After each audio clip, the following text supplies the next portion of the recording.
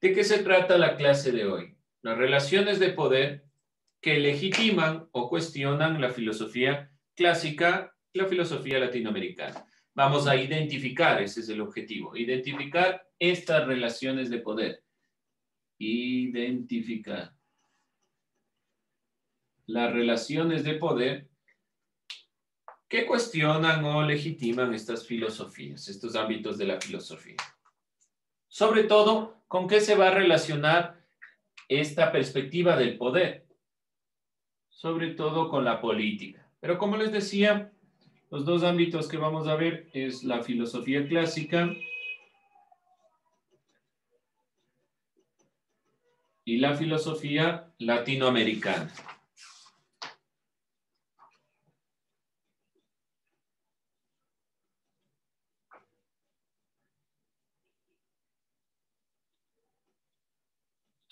Vamos a iniciar desde la filosofía clásica tratando de evaluar los elementos que se relacionan con la política. Y primero vamos a analizar a los griegos.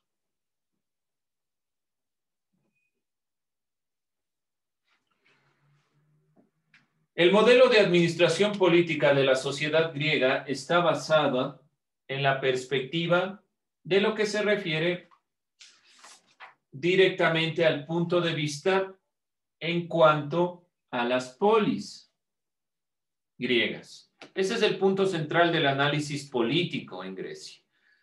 Recordemos que las polis eran ciudades-estado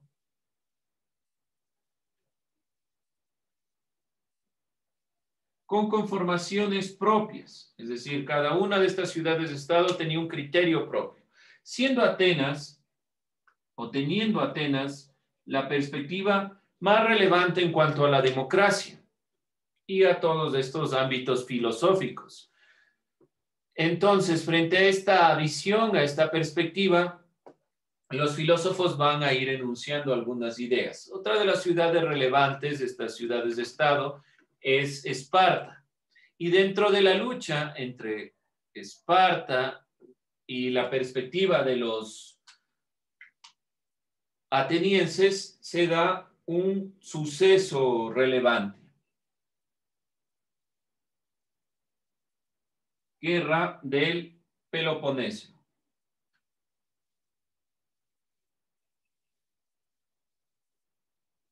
La guerra del Peloponeso del siglo V antes de Cristo plantea el triunfo de Esparta sobre Atenas y este desencadenamiento de elementos en la polis ateniense.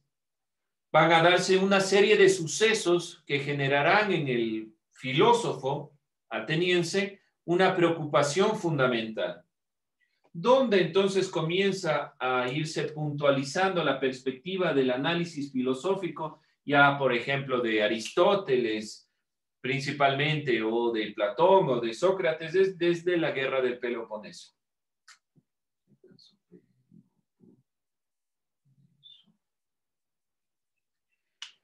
Dentro de esta perspectiva, entonces, en las polis griegas comienza y sobre todo en Atenas a darse una ruptura y presentarse dos elementos fundamentales de los cuales los filósofos van a ir dando criterios. Y dentro de estos criterios, principalmente, nos enmarcaremos si algunos elementos se mantienen, algunos elementos pueden ser criticables, otros elementos pueden ser retomados dentro de la filosofía y la perspectiva política principalmente. Ese es el contexto entonces, la guerra posterior a la guerra del Peloponeso, en las polis griegas de estas ciudades de Estado, principalmente en Atenas, comienza a darse un cambio de perspectiva para analizar las relaciones de poder que legitiman o cuestionan la filosofía clásica. Dentro de esta perspectiva, entonces, vamos a ir puntualizando. A continuación, los elementos de la filosofía y la sociedad en la antigua Grecia. Los filósofos griegos no fueron indiferentes a esta perspectiva de la guerra del Peloponeso, sino que principalmente, como Atenas atravesaba una crisis, Atenas y el ámbito principalmente de la democracia estaban en crisis, los filósofos que más relevantemente recordamos, Sócrates, Platón, Aristóteles, han realizado análisis sobre estas, sobre estas perspectivas, crisis, sobre estas perspectivas y estas visiones, crisis. Esta crisis ateniense que deviene de la guerra. Dentro de esta perspectiva, entonces, se pueden identificar un modelo de pensamiento orientado a recuperar el orden de las polis. Estos pensadores querían recuperar el orden de las polis.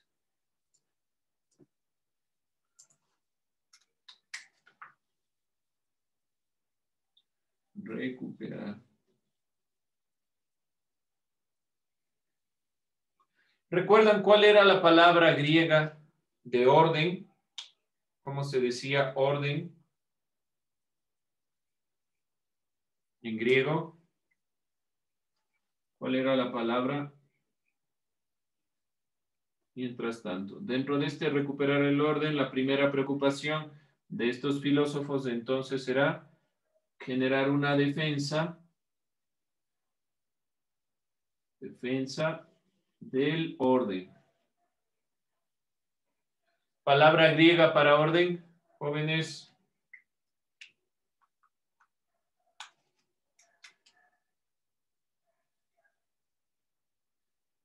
Me digan que ya se olvidaron.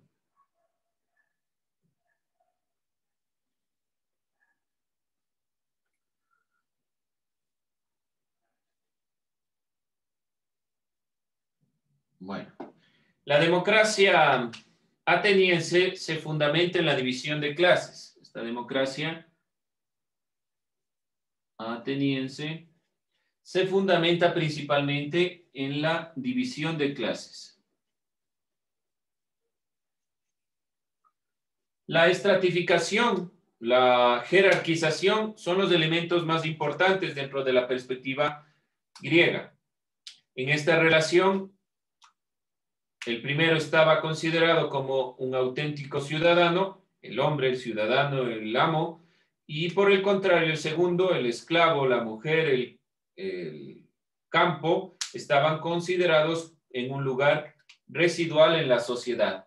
Por lo tanto, uno de los análisis principales también, por ejemplo, de Aristóteles, en su texto La Política y también en su texto La Ética Nicómaco, serán el análisis sobre la relación entre las diferentes clases. ¿Cuál es la posición de un punto de vista siempre centrado en la visión de el hombre?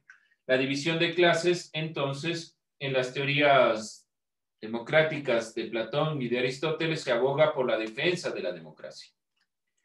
El aprecio de la manera de la división de clases es un fundamento. Entonces aquí se jerarquizan, se genera una división jerárquica de estas clases. Dentro de estas teorías, entonces, el principio de la, de la jerarquía está en la palabra cosmos, orden, armonía, que no solamente debe caracterizar a una sociedad. Esta jerarquía es porque se relaciona con la perspectiva de cosmos, de orden, y principalmente está directamente asociada con la visión de generar a una sociedad más estable, pero sobre todo con el funcionamiento colectivo. Ese es uno de los pensamientos principales de los filósofos, este punto de aquí. El análisis de Aristóteles y Platón estarán guiados frente a esta perspectiva y si nosotros puntualizamos, por ejemplo, cuál es una de las críticas principales desde el pensamiento latinoamericano, puede ser esta defensa del orden como un orden que jerarquiza, que prioriza a un grupo y que a otro no. Por ejemplo, a los conquistadores, ellos jerarquizan y hablan de criollos, mestizos, indígenas, donde los criollos tienen los derechos y se basan en esta perspectiva. Puede ser una de las críticas principales dentro de esta visión. Segunda consideración, además de la defensa del orden, en Atenas. Si tienen dudas, preguntas, inquietudes, por favor, irán preguntando, irán considerando los elementos que estoy aquí puntualizando, sintetizando lo que estamos principalmente viendo. No se olviden ir sintetizando estos elementos para tener en consideración y poder ir realmente sacando un resumen sobre las ideas más relevantes, las ideas más importantes. Segundo elemento, crítica de la corrupción de los filósofos griegos.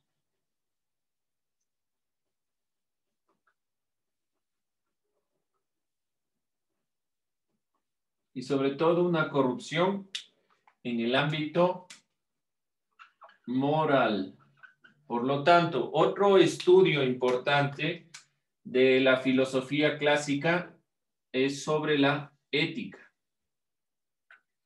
La guerra del Peloponeso trajo consigo consecuencias en el orden de la ética y de la convivencia social. En ese momento, los grandes ideales cultivados por los atenienses empezaron a declinar, razón por la cual los pensadores de la antigüedad denotan una enorme preocupación de la relación filosófica o del análisis filosófico sobre la moral.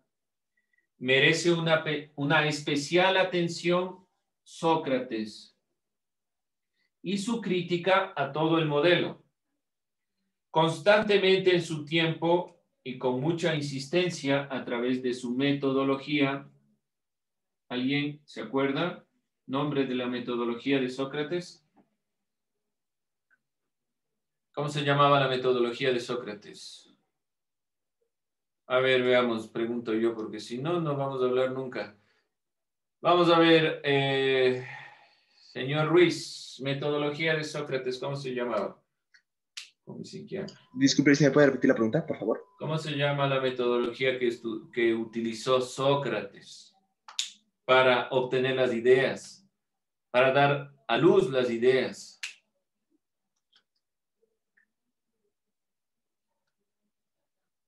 Chan, chan, chan. ¿Cómo se llamaba? No cacho, Licen. ¿No cacha? No. No recuerda ya nada. ¿Qué le a hacer? Exacto. bueno, por lo menos sincero. Mayéutica no se olviden de la mayéutica. Dar a luz las ideas, traer a la luz las ideas. Es una metodología que directamente fue guiando el pensamiento socrático hacia mirar los errores que cometía la sociedad ateniense de su época. Otro personaje, Aristóteles, y su ética a Nicómaco, Nicómaco su hijo, ustedes pueden encontrar ética Nicómaco o ética Nicomaquia, es un estudio del ámbito moral directamente de cómo eh, debe comportarse la sociedad, cómo debe guiar su pensamiento para tener una moral correcta, no, no corrupta. A Sócrates le condenaron a morir por medio de la cícuta, por corromper a la juventud y por cuestionar a los dioses, es decir, por irse en contra del pensamiento propiamente griego y sobre todo por cultivar la filosofía y guiar en los jóvenes la crítica, el pensamiento, la reflexión. o sea, dicen en otras palabras, estaba diciendo que lo estaban condenando por tener un libre pensamiento. Exacto. Así es, Fernando. Estaban condenando por tener un libre pensamiento y por que ese libre pensamiento les cultive a los jóvenes. Es decir, los jóvenes también tengan un libre pensamiento. Le veían como una amenaza a Sócrates. Por eso lo condenan a morir. ¿Sí? Y todo basado en esta perspectiva, porque eh, la mayéutica se basa en la ironía principalmente. Hacer una serie de preguntas que prácticamente usted caiga en cuenta que se está equivocando, lo que molesta a la gente. Entonces a Sócrates se le condenó. Pero estos dos pensadores quisieron destruir esta corrupción moral generada desde la guerra del Peloponeso. Ahí hay que tomar muy en consideración esta perspectiva para poder puntualizar que la ética y la política han sido los dos ámbitos. Vamos con la República Romana y con eso vamos a ir terminando. Ahora, algo, escucharán esto que voy a decir, por si acaso. En cuanto a la República Romana, primero, puntualicemos. República Romana.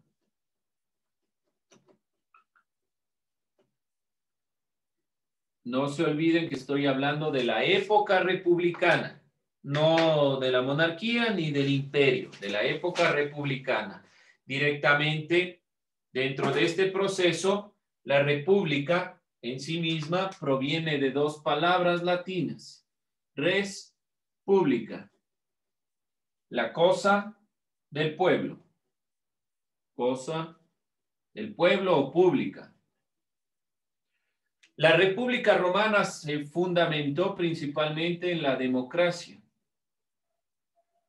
al igual que la perspectiva ateniense, pero, y aquí mucho ojo, para la República Romana, directamente el punto no eran las ciudades como polis. ¿Cuál es el punto de la polis y en qué se fundamenta la polis griega? En la filosofía, en el logos, en el pensamiento. En cambio, los romanos a sus ciudades le llamaban cívitas, de dónde proviene la perspectiva o la idea de ciudadanía o la palabra de ciudadanía. Estas ciudades, esta ciudad, que también es una ciudad-estado, pero sobre todo es una ciudad-estado en una conformación más amplia, Ejemplo, Atenas y Esparta tenían una conformación diferente como polis, un criterio diferente, las mujeres tenían un carácter diferente, el ámbito de, Esparta era la guerra, de Atenas era la democracia, el conocimiento. En cambio, en las cívitas, todo la República Romana, todos los territorios conquistados que se adhirieron a la República pertenecían a una misma visión, muy parecido a esta perspectiva, nuestra República del Ecuador, por ejemplo. La República del Ecuador tiene varias provincias, varias ciudades, pero todas se adhieren a una misma perspectiva. Entonces, ¿en qué se va a basar las cívitas a diferencia de la polis? Las cívitas se van a basar principalmente en la norma, en las leyes y sobre todo en esta postura política, porque el estudio también obviamente es sobre el ámbito político, política, pero esta política centrada no en el estudio filosófico como tal, no en el tratado filosófico, sino en el estudio filosófico de la política en cuanto a la normativa, a la ley y al derecho, que es lo que mayormente cultivaron los romanos. Verán que les estoy diciendo cuál es la diferencia. De esto irá su trabajo, así que tomarán en cuenta. Dentro de esta perspectiva, la ley y el derecho eran los principios en los que se sustentaba el concepto de ciudad. Los romanos habilitaron varios espacios para el discurso político. El espacio del discurso político fue fundamental porque aquí se fueron presentando algunos pensadores y filósofos como Marco Tulio Cicerón, que tiene un texto que se llama Las Catilinarias, que me parece que hay un ecuatoriano que tiene un texto también sobre esta perspectiva que se llama así, pero está tomado de Cicerón. Marco Tulio Cicerón, en esta exposición, combate a Catilina contra la posibilidad de un ingreso y una ruptura de la República Romana. El punto central del análisis es un análisis político centrado principalmente en la normativa y hacer prevalecer la República Romana frente a cualquier amenaza. Cicerón destaca como uno de los pensadores más notables de la Roma clásica. Para él, la filosofía debía tener un asunto eminentemente práctico, lo que yo llamaría, o que lo que se llama realmente filosofía, filosofía práctica. Y esta filosofía práctica es realmente la política y la ética. Son los dos ámbitos prácticos de la filosofía. Según Cicerón, no debe centrarse la filosofía en tratados filosóficos muy abstractos, sino principalmente hablar sobre la realidad. Cicerón planteaba que los más profundos contenidos no estaban en los tratados filosóficos, sino en la conducción de la vida, pública y privada. Conducción de la vida, ese es el punto central, tanto pública como privada. De acuerdo a los criterios de la razón y la doctrina. Por ello, Cicerón fue uno de los más ilustres políticos romanos y constituye una figura ejemplar como pensamiento filosófico que puede ser empleado para sostener regímenes políticos y sobre todo que ha influido en el pensamiento de todos los países de carácter democrático y sobre todo y sumamente importante nuestra visión en cuanto al derecho romano en el Ecuador. Así que este punto relevante de la Roma. ¿Cuál es el objetivo final? Comprender estas relaciones de poder, también con la perspectiva latinoamericana, que estaremos viendo en la siguiente clase. Bien, entonces van a contestar la siguiente pregunta. Os dejo eso mientras puntualizan y obviamente vamos a ir cerrando ya esta perspectiva, este punto. Dos elementos, la República Romana y las polis griegas. Entonces, ¿cuál es el trabajo?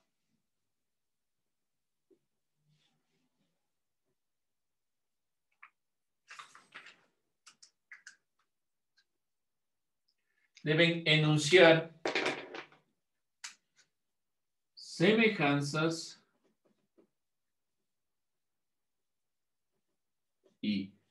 diferencias entre semejanzas y diferencias entre la polis griega